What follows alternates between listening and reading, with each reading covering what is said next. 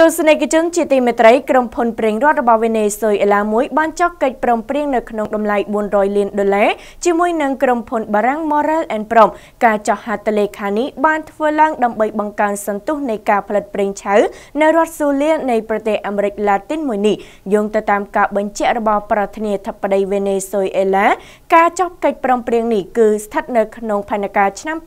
2019ដល់ឆ្នាំ2025របស់រដ្ឋាភិបាលវេណេស៊ុយអេឡា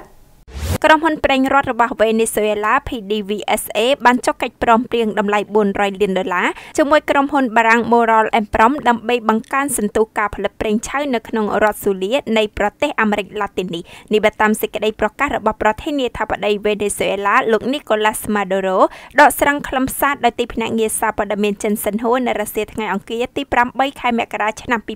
2019យោងតាមការបញ្ជាក់ពីលោក Maduro ការចុះកិច្ចព្រមព្រៀងនេះគឺស្ថិតនៅក្នុងផែនការឆ្នាំ2019ដល់ឆ្នាំ2025របស់រដ្ឋាភិបាលលោកសម្រាប់ការបណ្ដាក់ទុនវិនិយោគពីបរទេសហើយគោលដៅនៃកិច្ចប្រព្រៀងគឺបង្កើនការផលិតប្រេងឆៅនៅក្នុងមួយថ្ងៃកើនដល់2.5លានបារ៉ែលនៅឆ្នាំនេះគួរជម្រាបផងដែរថាប្រទេសវេណេស៊ុយអេឡាបានរងគ្រោះជាខ្លាំងដោយសារតែការធ្លាក់ចុះយ៉ាងគំហុកនៃថ្លៃប្រេងកាតកាលពីឆ្នាំ2014លោកម៉ាដូរ៉ូបាននិយាយថារូបលោកកំពុងមើលការខុសត្រូវដោយផ្ទាល់យ៉ាងយកចិត្តទុកដាក់លើការស្រោចស្រង់ឡើងវិញនៅឧស្សាហកម្មប្រេងនៃប្រទេសរបស់លោក